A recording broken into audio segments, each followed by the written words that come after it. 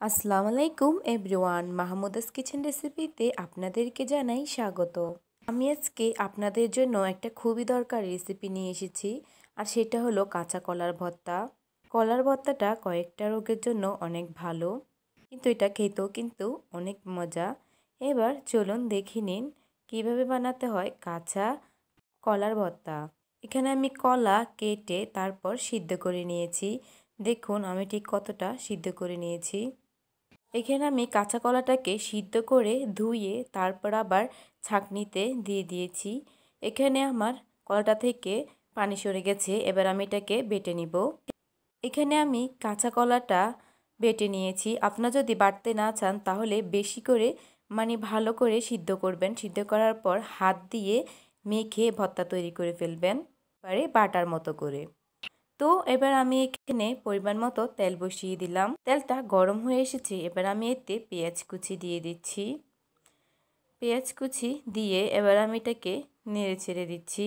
নেড়ে ছেড়ে হালকা একটু বাদামি কালারের হয়ে আসলে এবার আমি এতে দিয়ে দিচ্ছি একটা চামচের কিছু কম রসুন বাটা। রসুনটা বাটা দিতেই চেষ্টা করবেন। এবার আমি এটাকে নেড়ে ছেড়ে নিচ্ছি। একটু নাড়ানোর পরে এবার আমি এতে দিয়ে দিচ্ছি হাফ চা চামচ আদা বাটা। এবার আমি আদা বাটাটাও নেড়ে ছেড়ে মিশিয়ে নিচ্ছি।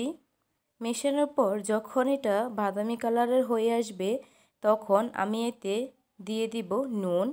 এবার আমি এতে পরিমাণ মতো নুন দিয়ে দিচ্ছি। নুনটা দেওয়ার পরে আদা রসুন যেন পুড়ে না যায়, তার জন্য আমি এখানে সামান্য পানি অ্যাড করে দিচ্ছি। দিয়ে দিচ্ছি নর্মাল তাপমাত্রার কিছু পানি। পানিটা দেওয়ার পরে এবার আমি মিশিয়ে নিচ্ছি।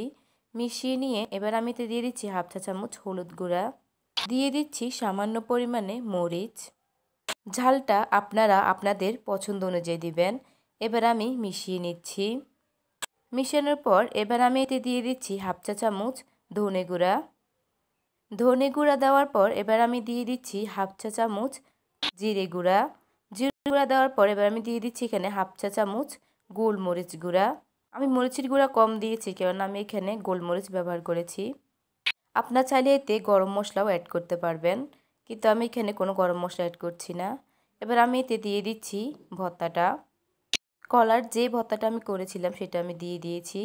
এবার এটাকে আমি নেড়ে ছেড়ে সুন্দর করে মেক করে নিচ্ছি। অবশ্যই ভালোভাবে নেড়ে চেড়ে এটাকে মশলার সাথে মিশিয়ে ভালোভাবে রান্না করতে হবে। ভালোভাবে মিশানো না হলে কিন্তু খেতে ভালো লাগবে না। এবার যা বলছিলাম, কলার ভর্তাটা কেন উপকারী?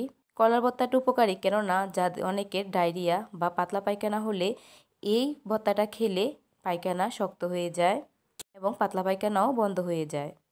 যদি প্রাপ্তবয়স্ক হয়ে থাকে, তাহলে এই কলা ভর্তাটা বানিয়ে খাওয়াবেন। আর যদি শিশুর হয়ে থাকে, তাহলে, যদি দুধপান শিশু হয়ে থাকে, তাহলে মা খেলেই চলবে। আর ছয় মাসের ঊর্ধ্বে হলে বাচ্চাকে একটু খাওয়ানোর চেষ্টা করবেন। যদি খায় তো খাবে, না হয় মা খেয়ে নেবে। এতেই উপকার হবে। এবার এখানে আমার ভর্তাটা হয়ে গেছে, আমি চুলাটা বন্ধ করে দিচ্ছি। এবার এখানে তৈরি হয়ে গেল কাঁচা কলার ভর্তা এ ভর্তাটা কিন্তু আসলে গরম ভাতের সাথে অনেক মজা খেতে। তো অবশ্যই আপনারা রেসিপিটি বাড়িতে ট্রাই করবেন এবং আমার ভিডিওটি ভালো লাগলে অবশ্যই আমার চ্যানেলে সাবস্ক্রাইব করবেন লাইক কমেন্ট শেয়ার করবেন। ধন্যবাদ।